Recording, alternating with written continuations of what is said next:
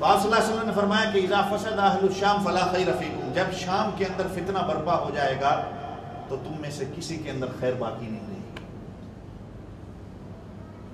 तो चुनाचे ये रास्ता सारा बनवाया जा रहा है। ये सारा खिता जो है ना, इसकी बरकत को यहूदी भी समझता है, ईसाई भी समझता है, मुसलमान भी समझता है।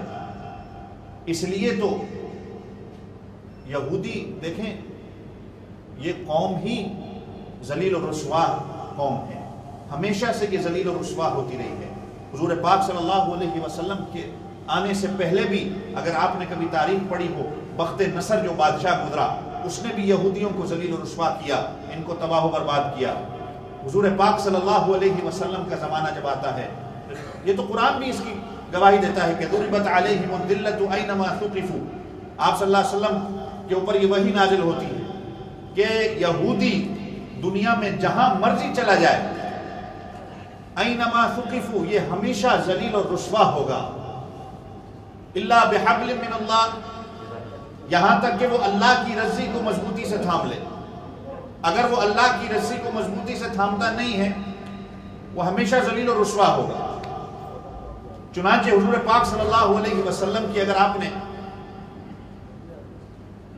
सीरत पढ़ी है आप सल्लल्लाहु अलैहि वसल्लम मदीने जब जाते हैं, आप सल्लल्लाहु अलैहि वसल्लम का यहूदियों के साथ पैक्ट होता है।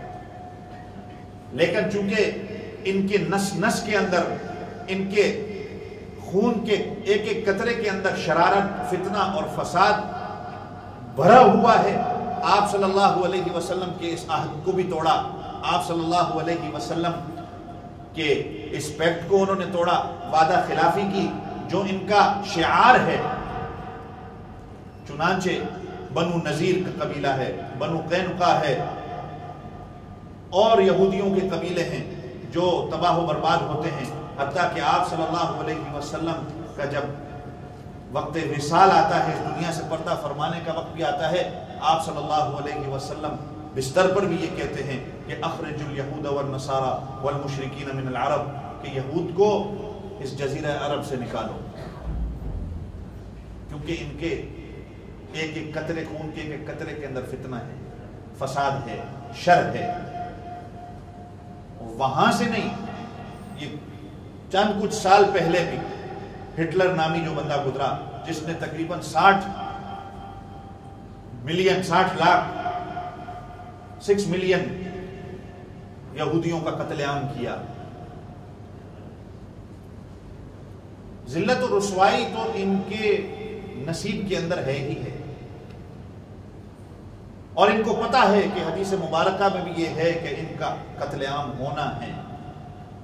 और क्या क्या होना है? इनकी किताबों के अंदर भी ये सारा वाक़ है, जिसको ये समझते हैं। और इस हर मजदूर की जंग का जो मैंने कहा अलमलहमतुलउज़मा या अलमलहमतुलकुबरा जो होनी है, वो इसको भी मानते हैं। चुनाचे इसका नाम उन्होंने लिखा है, द बैटल ऑफ़ आर्मगैडन हर मजदूर की जंग, जो वाक़ होगी। चुनाचे ये फजीलतें हैं, मस्जिद अक्सा की, इस खत्े शाम की, जो हजूर पाक सल्लल्लाहु अलैहि वसल्लम से पहले भी थी, हजूर पाक सल्लल्लाहु अलैहि वसल्लम के आने के बाद इस खत्े को मजीद और फजीलत मिल गई कि आप सल्लल्लाहु अलैहि वसल्लम 16 माह या तकरीबन 17 माह तक इस किबले की तरफ़ मुँह करके नमाज़ पढ़ते हैं। बाद में ये किबला चेंज हो जाता है।